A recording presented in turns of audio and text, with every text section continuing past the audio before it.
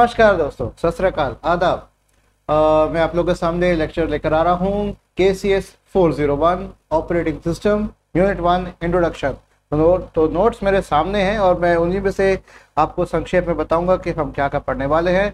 और ये unit one का इंट्रोडक्शन जो पार्ट है, जो कि जो नोट्स हैं, वो भी मैं आपको भी शेयर कर दूँगा, वो भी ऑनलाइन मैंने निकाले, मैं वही आपको शेयर कर दूँगा।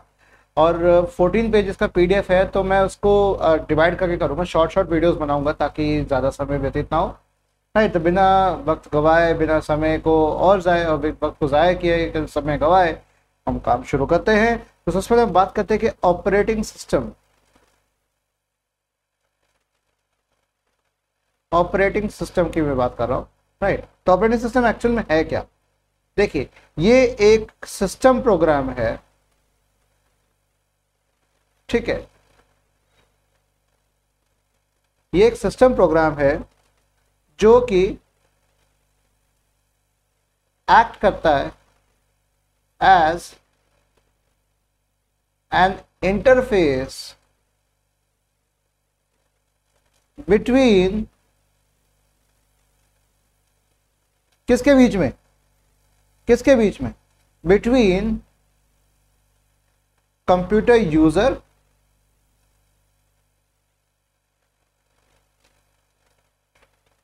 एंड देखिए, एक डेफिनेशन को, एक सिंबल स्टेटमेंट को मैं, देखिए एरो वाइज में आपको, देखिए, बता रहा हूँ।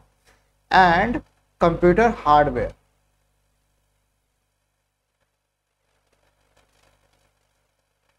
राइट तो this is the definition of operating system कि एक सिस्टम प्रोग्राम है, एक सिस्टम का, इसको मैं, अगर मैं हिंदी में भी कहूँ तो मैं यहाँ पे आपको बता दूँ, जिससे मैं कुछ और इस पर लिखने का प्रयास करता हूँ। जैसे, ये है क्या?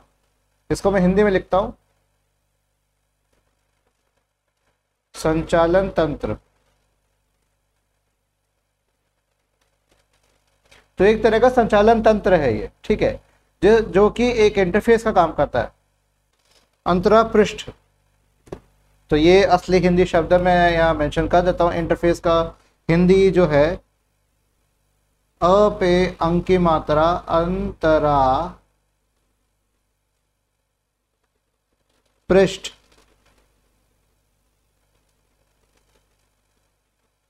आधा श और ठ। ठीक है अंतरा पृष्ठ तो एक अंतरा पृष्ठ का काम करता है, एक पृष्ठ है जो अंतर बांट रहा है दोनों के बीच में। ठीक है। और और भी है इंटरफेस का, जैसे विद्युत अंतरा फलक एक है और, ठीक है।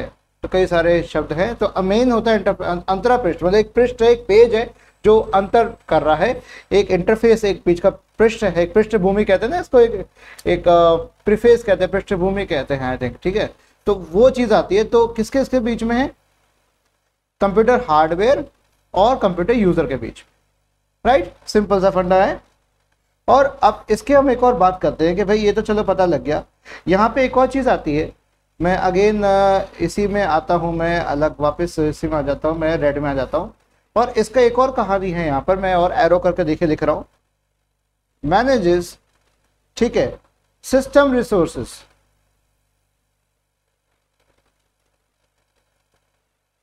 सिस्टम रिसोर्सेस को मैनेज भी करता है और साथ साथ प्रोवाइड करता है प्लेटफॉर्म को। प्रोवाइड्स ठीक है अ प्लेटफॉर्म प्लेटफॉर्म किसका? On which other application programs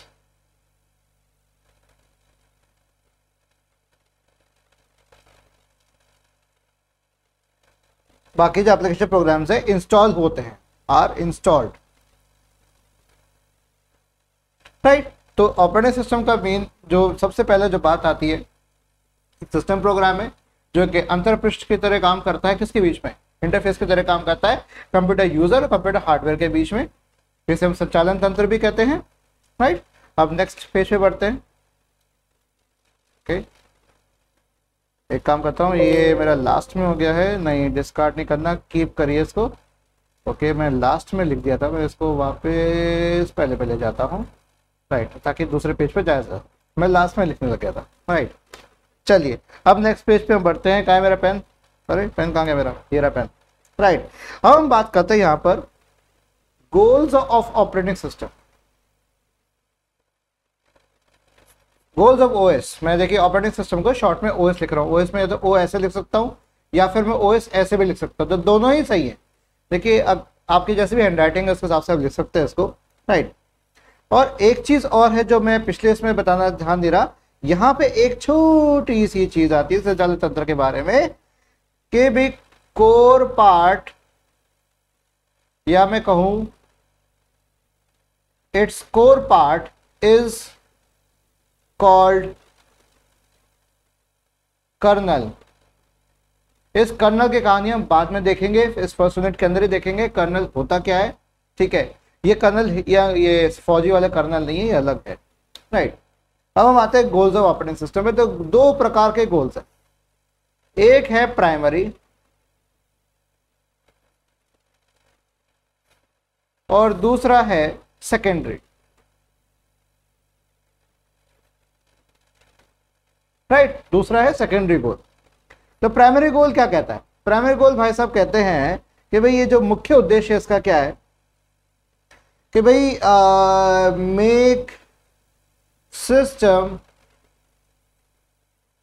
user friendly है ना? मतलब कन्वीनियंट आसानी से काम कर सकते हैं। तो सिस्टम को आसानी से काम कर बताया के लाइक बनाया जाए यूज़र फ्रेंडली बने, ठीक है। और दूसरा जो गोल है, इसका दूसरा जो उद्देश्य है प्रथम उद्देश्य क्या है? महत्वपूर्ण जो पहला प्रथम उद्देश्य क्या है? महत्वपूर्ण उद्देश्य क्या है कि जो यूज़र फ्रेंडली बनाया जाए सिस्टम को, और दूसरा उद्देश्य क्या है इसका? बहुत ही ज़बरदस्त। दूसरा उद्देश्य देखिए, यहाँ पर लिख रहा हूँ। मेक सिस्टम एफिशिएंट तो दोनों ही हैं। प्रथम उद्देश्य तो ये महत्वपूर्ण रहेगा। To make this system user friendly और टू मेक सिस्टम एफिशिएंट तो काफ़ी अच्छे से भी काम कर सके। फिर इसमें एक और चीज़ आती है रोल ऑफ़ ओएस उसका योगदान क्या है? उस ऑपरेटिंग सिस्टम का योगदान क्या है? तो कैसे आएगा? रोल ऑफ़ ओएस जो बताता है वो आ, दो व्यू पॉइंट्स दो पर्सपेक्टिव्स दो कह सकते हो नज़रिए से देखा जा सकता है। तो दो नज़रिए किस किस के हैं? एक नज़रिया यूज़र की तरफ़ से है, दूसरा नज़रिया सिस्टम की तरफ़ से। तो यूज़र बाबा जो है हमारे, यूज़र बाबा जो है, यूज़र नज़रिया कहता है कि भाई, कि मेरा जो जो ओएस है OS is designed OS design किया जाता है, ठीक है to maximize, right, to maximize the work CPU uh, so the मतलब CPU utilization CPU का ज़्यादा ज़्यादा इस्तेमाल करना that the user is performing. ठीक है? That the user is performing मतलब यहाँ पे बात आ रही है ईज ऑफ़ यूज़ की जो कि प्रथम उद्देश्य भी है यूज़र फ्रेंडली तो यूज़र कहेगा, यार, मुझे आसानी से यूज़ करना आना चाहिए, जो मैं करना चाहता हूँ, वो मैं आसानी से कर पाऊँ।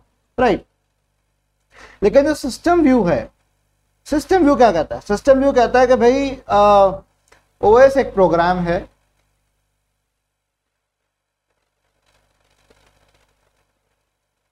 Right right. ओएस एक प्रोग्राम है, जो काम करता है वर्क्स एज अ क्या सिस्टम एलोकेट रिसोर्स एलोकेटर जो मैं और अच्छे से इसको लिख देता हूँ।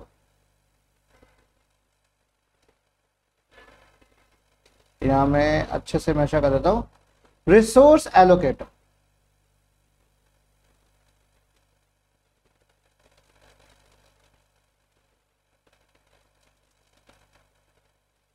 राइट तो रिसोर्स एलोकेटर की बात कहता है। तो भाई सिस्टम कहता है कि मैं मेरी नज़र में ओएस एक रिसोर्स एलोकेटर की तरह काम करता है प्रोग्राम है।